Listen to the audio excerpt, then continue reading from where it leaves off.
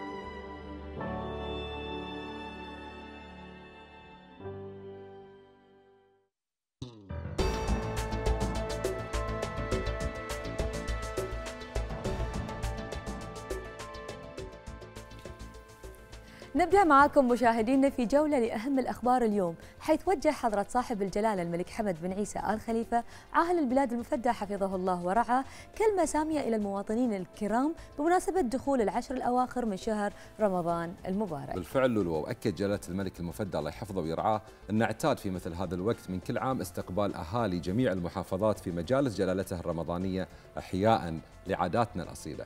لكن الظروف الحالية تقتضي التواصل عن بعد. مشددا جلالته على أنه مهما بعدت المسافات فإن وصل القلوب وتقارب النفوس مستمر في كافة الأحوال. بالفعل وأعرب جلالته عن عميق شكره بما شهده من انضباط جماعي لدى الشعب واتباع الإجراءات الاحترازية لتطهير بلادنا من هذا الوباء مشيدا بأعمال الفريق الوطني بقيادة صاحب السمو الملكي ولي العهد وما تتميز به من جدية ونتائج مبهرة تبعث على الكثير من الفخر والارتياح والحرص للحفاظ على صحة وسلامة المواطنين والمقيمين. كما أكد جلالة الملك المفدى الله يحفظه ويرعاه أن جلالته راح يحرص على أن تحظى جميع المساعي المخلصة بالتكريم المستحق وخاص جلالته بالذكر المرابطين على الصفوف الأمامية اللي وقفوا ويوقفون بكل شجاعة. مشيرا جلالته إلى أن شعب البحرين والمقيمين سطروا أروع الأمثلة في الوفاء والإنسانية في هذه الأزمة اللي تمر بوطننا الغالي. مقدما لهم جلالته كل الشكر والتقدير. وفي خبر آخر صرحت سعادة الأستاذة فائقة بن سعيد صالح وزيرة الصحة بأنه تنفيذا لتوجيهات سمو ولي العهد تم رفع الطاقة الاستيعابية لمركز العزل والعلاج إلى 4257 سرير يبلغ الإشغال منها حاليا 300 3218 سرير فقط.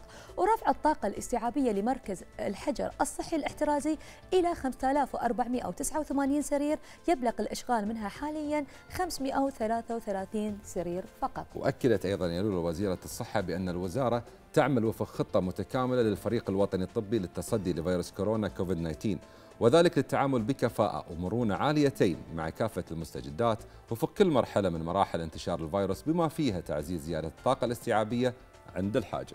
ونوهت بعد أن بضرورة استشعار كافة المواطنين والمقيمين أهمية القرارات والإجراءات الاحترازية المتخذة وانعكاساتها الإيجابية عليهم وضرورة الالتزام بما بما, بما فيها من قبل الجميع لتخفيف العبء عن الفرق العاملة في الصفوف الأمامية من كافة الجهات بما فيها الطواقم الطبية كي لا تتفاقم الحالات القائمة ويزيد انتشار الفيروس بين أوساط المجتمع. thank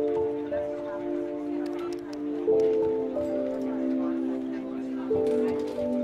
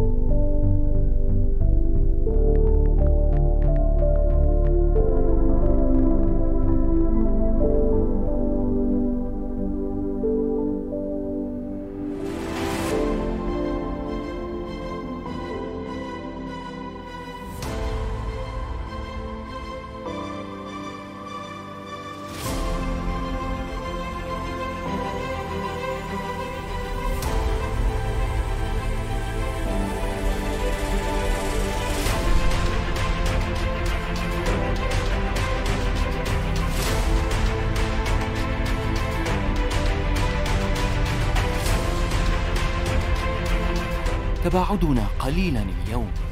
يحمي أحباءنا أطفالنا كبارنا والأضعف فينا. تباعدنا هو تكاتفنا معا كفريق واحد في وجه كوفيد 19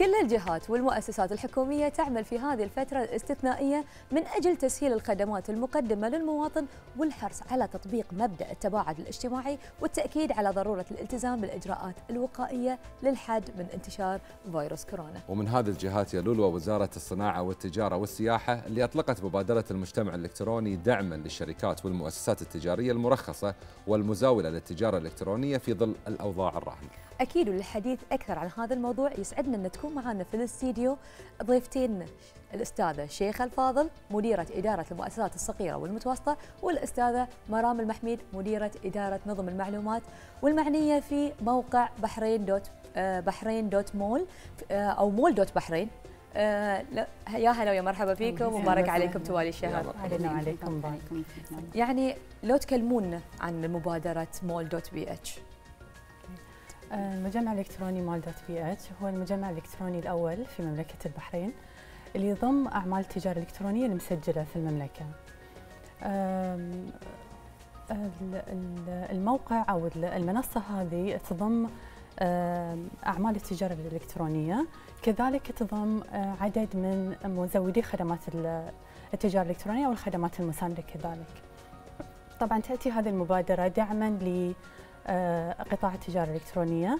كذلك تعزيز الثقة في التعامل مع مزودي التجارة الإلكترونية وتشجيع المستهلكين على التعامل مع آه، أصحاب الأعمال التجارة الإلكترونية. جميل جميل. أهدافكم جميلة وأنا بعد بتعرف على الأهداف أكثر منك الله. مرام. أهداف هذه المبادرة.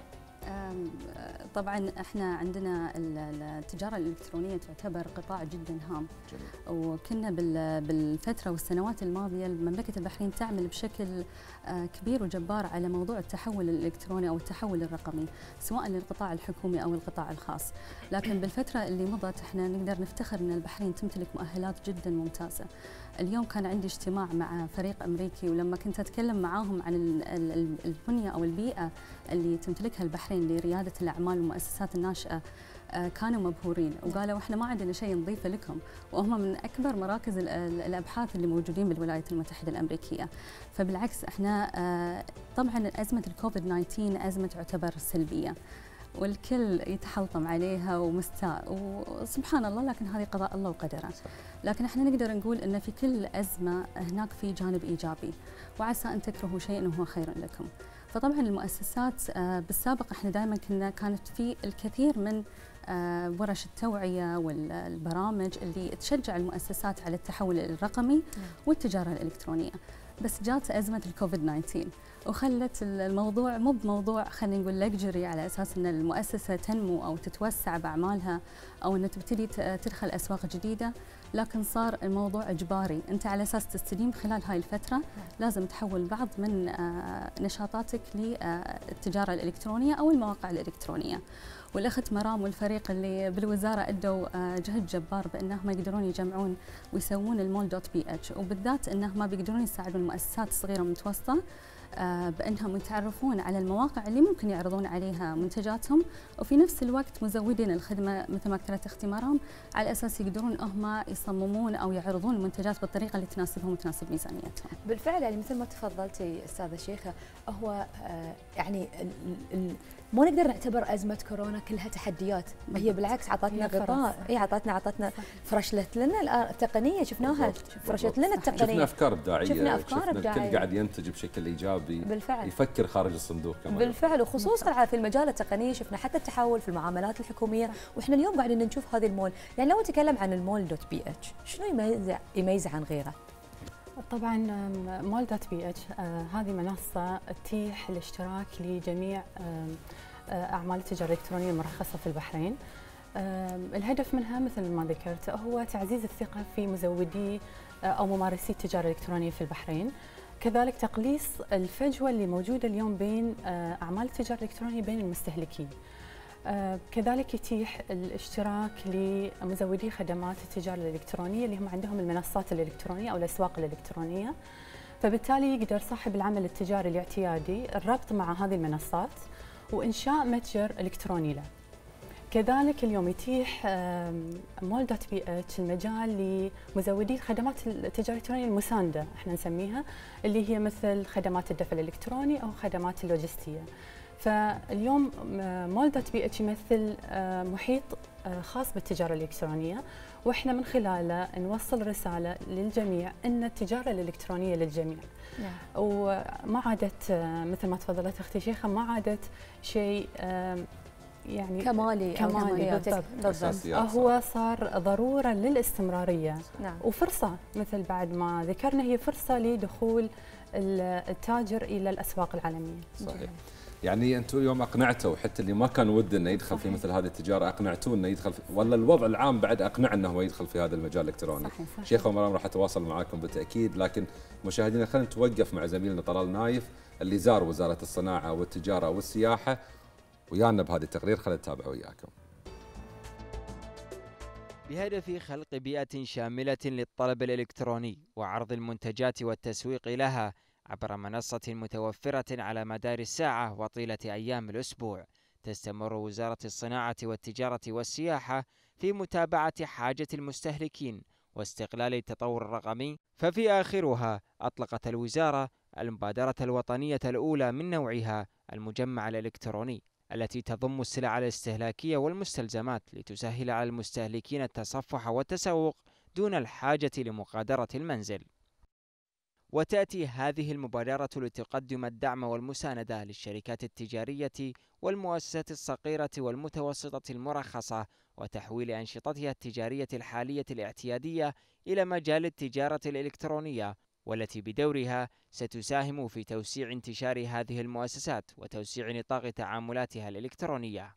mall dot BH صراحة كانت مبادرة جدا ممتازة من سعادة الوزير. وهذه المبادرة يعني فادت شريحة كبيرة اليوم من ال SMEs من آه القطاعات المختلفة الموجودة في ال market إنها تتحول أونلاين وصار عندها online business وهذا ال business اليوم لاقيناه بشكل جدا واضح إن صار عندهم الإمكانية أن اليوم حتى في ظروف قاهرة في ظروف جدا صعبة إنه هو يزاول عمله بشكل طبيعي. اليوم نقطة التحول تكون أنا شلون أتأقلم مع الظروف الموجودة حتى لو ما كنت أحصل على الأرباح المتوقعة ولكن أقلل من خسارتي. أنا كمستخدم حق mall dot BH وفر لي طبعا خيارات متعددة حق المنتجات اللي أحتاجها في ظل الوضع الحالي طبعا المنتجات توصلنا للبيت فهو فعليا نفس المجمع الإلكتروني وطبعا واحد يكون مطمن لما يشتري منه لأن تكون جميع السلع مرخصة من قبل وزارة الصناعة والتجاره والسياحه. هذا وتستمر مملكة البحرين بخطواتها المتقدمة من خلال استخدام التجارة الإلكترونية لأصحاب الشركات والتي ستمنح الزائرين السهولة في الوصول والبحث عن المعلومة من البضائع والخدمات كما أنها سترفع مستوى الوعي إلى جانب تعزيز الثقة بأهمية التجارة الإلكترونية في ظل الأوضاع الراهنة التي يمر بها العالم من انتشار لفيروس كورونا. لتنشيط حركة الاقتصاد ولخلق بيئة متكاملة للتجارة الإلكترونية مملكة البحرين تطلق المجمع الإلكتروني ليكون بمثابة مجمع متكامل للتسوق دون مقادرة المستهلكين منازلهم. طلال نايف لمركز الأخبار تلفزيون البحرين.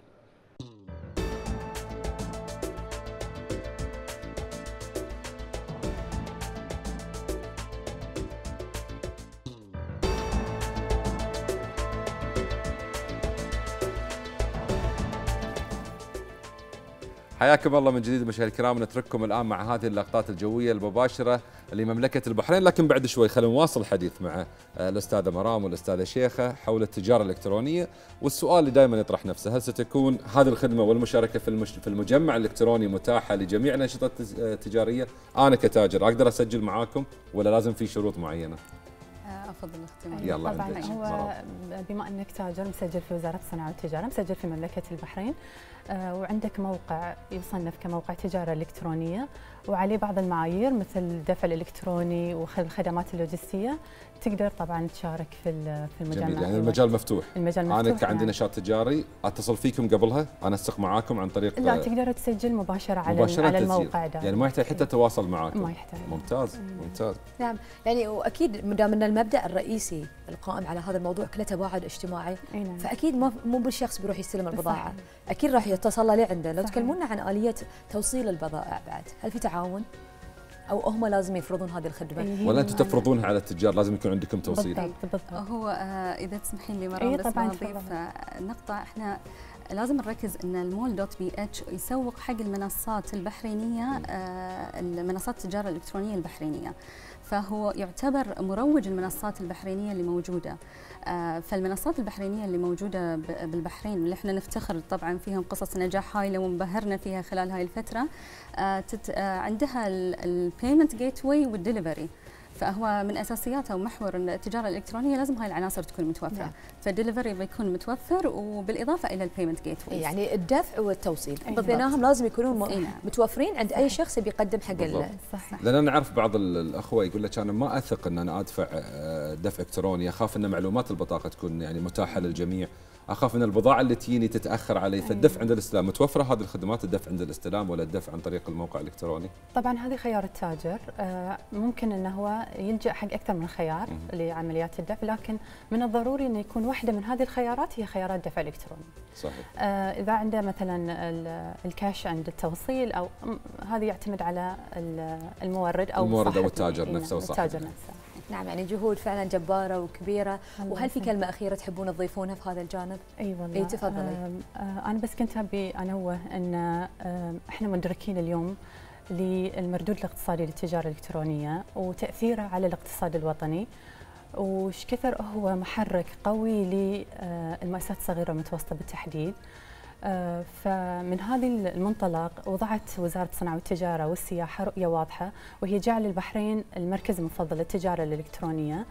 وعلى هاي الأساس حددت أو أعادت رسم لدورها وهو تنظيم وتعزيز التجارة الإلكترونية في مملكة البحرين واللي انبثق منه مجموعة أهداف. طبعا على أساس إنها تقدر تقوم الوزارة بهذا الدور كان لابد من أخذ مجموعة خطوات جادة في مجال تمكين بيئة آه، إجرائية وقانونية واضحة كذلك آه، آه، تقديم المساندة والمساعدة المطلوبة وتعزيز الثقة في التجارة الإلكترونية وتوليد الوعي بفرصها، الفرص كثيرة في مجال التجارة نعم. الإلكترونية. كذلك الوزارة اليوم تعمل من خلال استراتيجية للتجارة الإلكترونية، الهدف منها هو خلق بيئة متكاملة للتجارة الإلكترونية من خلال تنفيذ آه، مجموعة مبادرات، هذه المبادرات هي بتساعد الوزارة في القيام بدورها آه، في تنظيم وتعزيز التجارة الإلكترونية. والتغلب على المعوقات اللي اليوم قاعدة تحد من انطلاق قطاع التجارة الإلكترونية في البحرين. وكذلك تمكين بيئة آه، ناضجه لرياده الأعمال والابتكار في مجال التجارة الإلكترونية. آه، فاليوم الوزارة تقوم بذي بذي المجهود وحريصة على تنفيذ هذه الاستراتيجية. وأنا بضيف عليك يعني إذا كان في كلمة شكر لولوة فالكلمة موجهة لسعادة وزير الصناعة والتجارة نعم. والسياحة السيد زايد بن راشد الزياني اولا على ثقته في الكادر الشبابي اللي نعم. موجود عنده اللي تمثلونه اليوم أنتم شيخة ومرام وأيضا الطاقات الشبابيه اللي موجودة في الوزارة وعلى جهوده الاستثنائية خلال هذه الفترة. الله يسلمك. فكل الشكر والتقدير. له بالفعل فواز قلت نفس ملاحظتي أنا كنت يعني جدا معجبة بأن وزارة تتبنى هذا الفكر، عادة هذا الفكر تجاري ما ما تخضع للوزاره يعني الوزارة بتقول خلاص هذا تاجر هو يروح يسوي تطبيقه الخاص فيه وكذا، لكن جميل جدا أن إحنا نطالع أن وزارة في هذا الوقت تحديدا تتبنى مثل هذا المشروع الرائد. وأيضا تتبنى في يعني شباب مثلكم ما شاء الله عليكم شرواكم في هذه المناصب المهمة، شيخ شكلك تبي تقولين شيء وأنا ما بتطلعين زعلانة. لا هو طبعا لما نتكلم عن التجاره الإلكترونية والمؤسسات الصغيره والمتوسطه نتكلم عن آه، حاليا بالوقت الحالي عنصرين آه، هامين يكملون بعضهم البعض. وبالنسبة للمؤسسات الصغيرة والمتوسطة فترة تحدي فترة الكوفيد 19 لكن آه، إحنا شفنا يعني أنا تقريبا كل يوم أستلم اتصال مشروع جديد الشباب يفكرون فيه ويصدرونه ويطلعونه آه، سواء كان متعلق بالتجارة الإلكترونية أو حلول موجودة منصات إلكترونية مبتكرة لوضع حلول حق المشاكل اللي يعانونها المؤسسات في الوقت الحالي. فتفكير المؤسسات وكل رائد عمل بروح فريق البحرين إن إحنا نحتاج إن ندعم الاقتصاد بأفكار متعددة مبتكره، هذه يجعلني أحس بالفخر. نعم. وإحنا نبغى نقول إن ترى المنصات الإلكترونية اللي موجودة ما كانت جهد الساعة كانت كان جهد مستمر مملكة البحرين برؤية ثاقبة اقتصادية كانت حاطة رؤية للتحول الرقمي والتجارة الإلكترونية. وإحنا آه، عندنا طبعا خلال استراتيجية تنمية المؤسسات الصغيرة والمتوسطة كان عندنا محور أساسي واللي هو محور تعزيز الابتكار. وحاليا نقوم بدور آه، مهم آه، خلينا نقول التركيز على العناصر الهامة لتطوير التجارة الإلكترونية الذكاء الاصطناعي ال internet of things أو إنترنت الأشياء. هذه أمور تكمل آه، تخلق بيئة متكاملة للشباب إنه يقدم والله التكامل قاعد نشوفه يعني أختي شيخة في جميع الجوانب من من أداء الوزارة الأستاذة شيخة والأستاذة آه، مرام كل الشكر والتقدير لكم على تواجدكم معنا اليوم. مبارك عليكم ما تبقى من الشهر وعليكم. شكرا مشاهدينا نترككم الآن مع هذه اللقطات الجوية المباشرة لمملكة البحرين.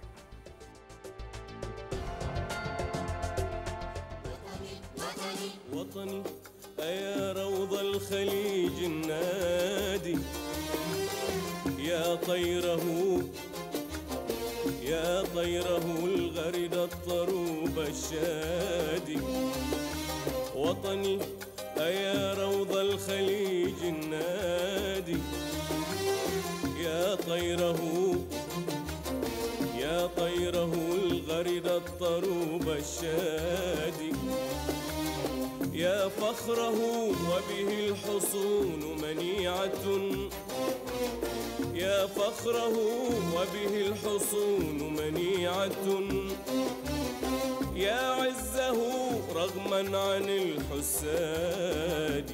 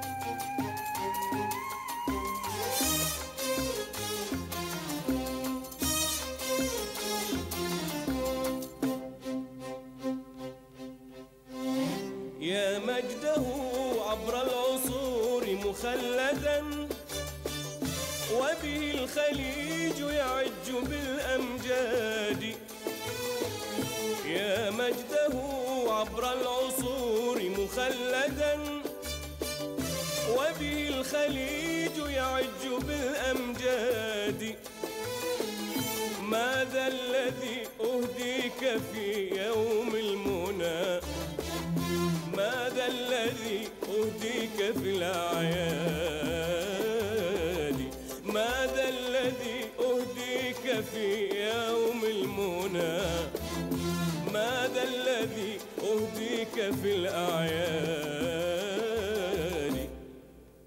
وطني وطني وطني وطني وطني.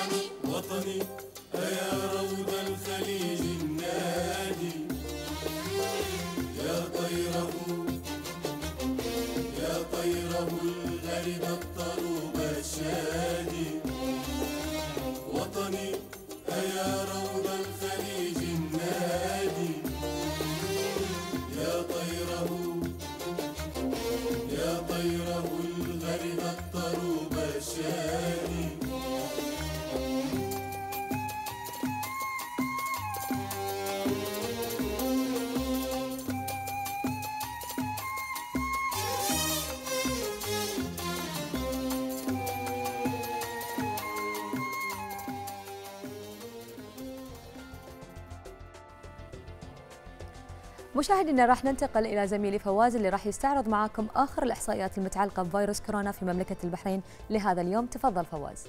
شكرا للوى بالتأكيد مشاهدينا راح نستعرض في هذا العرض آخر الإحصائيات اللي أصدرتها وزارة الصحة حتى اليوم يوم الثلاثاء الثاني عشر من شهر مايو 2020 بلغت الحالات القائمة 3330 حالة ووضع الحالات المستقرة ولله الحمد يبلغ 3325 حالة فيما يبقى خمسة أشخاص تحت العناية ونتمنى لهم الشفاء العاجل. أما المتعافون فيبلغون 2192 متعافي. الوفيات تسع حالات نسأل لهم الرحمة والغفران ولذويهم الصبر والسلوان. وقد أجرت مملكة البحرين أكثر من 197 ألف فحص وهي النسبة التي تتفوق بها البحرين على أكثر دول العالم تأثرا بالفيروس على مستوى حجم إجراء الفحوصات مقارنة بعدد السكان. يعني حصيلة حالات اليوم الثلاثاء في مملكة البحرين رصد 295 حالة جديدة بفيروس كورونا منها 181 حالة لعمالة وافدة و113 حالة لمخالطين وحالة قادمة من الخارج وحالة وفاة واحدة وتعافي بالتالي 40 حالة. هذا كل ما لدي وعودة لشلولوة شكرا لك فواز. الله يحفظ البحرين وأهلها ويديم عليها نعمة الأمن والأمان في ظل قيادة سيدي جلالة الملك المفدى أيده الله.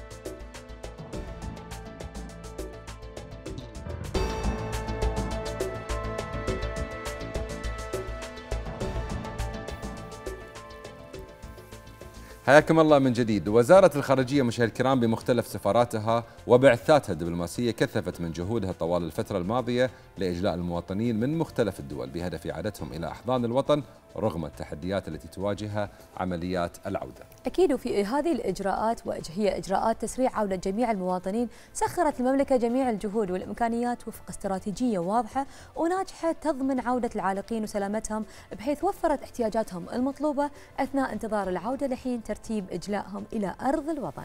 فريق الإعداد تواصل مع القائم بأعمال سفارة البحرين لدى ماليزيا مرام أنور صالح للتعرف عن كثب عن جهود السفارة حيث أكدت على العمل بكل جهد واجتهاد لتلبية احتياجات المواطنين. نتابع. السفارة فريق طوارئ من سبعة أشخاص لمتابعة شؤون المواطنين منذ اليوم الأول من فرض السلطات الماليزية نظام تقييد الحركة. وقد قام فريق الطوارئ بحصر عدد الطلبة والعالقين في ماليزيا والتواصل معهم لتجميع بياناتهم عبر البريد الإلكتروني والهاتف المحمول بشكل مستمر. وفتحت السفارة خطوط ساخنة لاستقبال استفسارات وأسئلة المواطنين وعائلاتهم بشأن خطة الإجلاء وترتيبات السفارة. وخلال ذلك قدمنا العديد من المساعدات للمواطنين العالقين من الطلبة والسياح من أمور مالية وسكنية ومساعدات غذائية.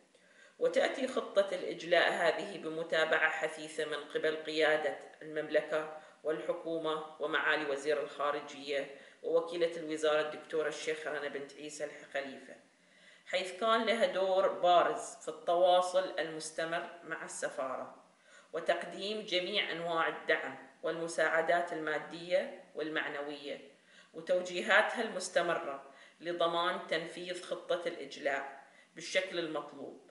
بالإضافة إلى قدرتها على اتخاذ القرارات السريعة مما سهل من عملية تسريع الإجراءات مع المواطنين. تم إجلاء 28 عالقا في تاريخ 26 أبريل 2020 وهم 25 مواطن بحريني وثلاث مقيمين وذلك على خطوط طيران الخليج. اجتمع فريق الطوارئ للسفارة قبل موعد السفر بيوم لتنسيق وتنفيذ خطة الإجلاء. وقامت السفارة بالتنسيق مع الشرطة الماليزية للحصول على خطابات لتسهيل مرور وتحرك المواطنين من منازلهم إلى المطار.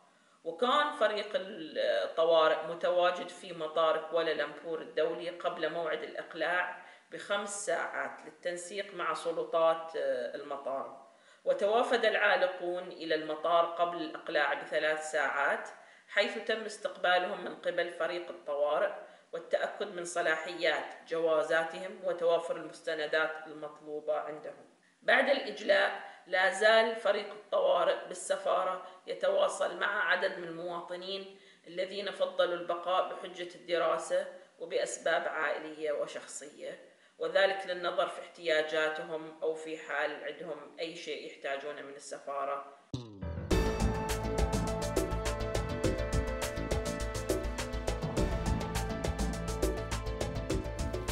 مشاهدينا تتواصل حملات التعقيم اللي نظمها على مدى الأيام السابقة عدد من أعضاء مجلس النواب بالتنسيق مع وزارة الداخلية والجهات المعنية. في هذا الجانب بالتحديد قام سعادة المهندس محمد السيسي البوعينين عضو مجلس النواب بإطلاق حملة تعقيم شملت تطهير وتنظيف مدينة خليفة وضواحيها بالتعاون مع عدد من المراكز التطوعية بمشاركة نخبة من خيرة أبناء وبنات البحرين. خلينا نتابع معكم هذا التقرير ونرجع مرة ثانية.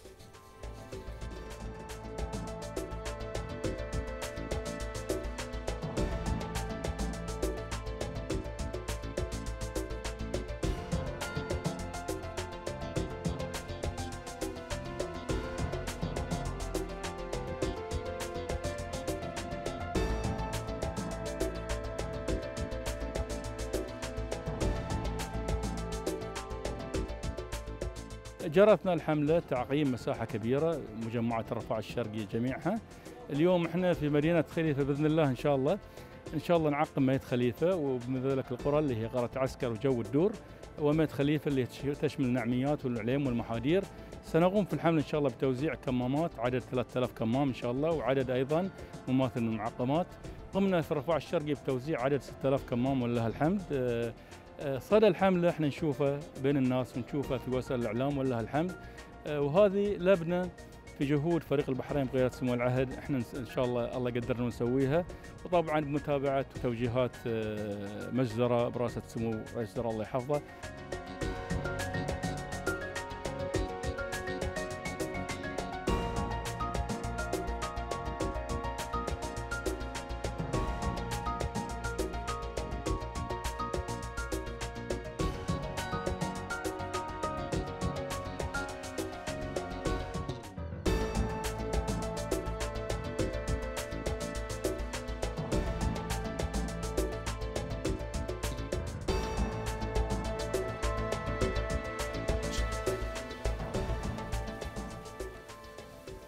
حياكم الله من جديد واستكمالا لتطبيق الإجراءات الاحترازية والتدابير الوقائية التي تتخذها مملكة البحرين يواصل عدد من السادة أعضاء مجلس النواب حملات وطنية لتعقيم محافظات المملكة. أكيد واحدة من هذه الحملات اللي فعلا جسدت حب الوطن عند أبنائه كانت في المحافظة الشمالية وغطت كل من مدينة سلمان والبديع والهملة. وللحديث أكثر عن هذه الحملة بالتحديد يسرنا أنه يكون معنا في الاستديو سعادة النائب عبد الله إبراهيم الدوسري عضو مجلس النواب. مساك الله بالخير ومبارك عليك توالي الشهر.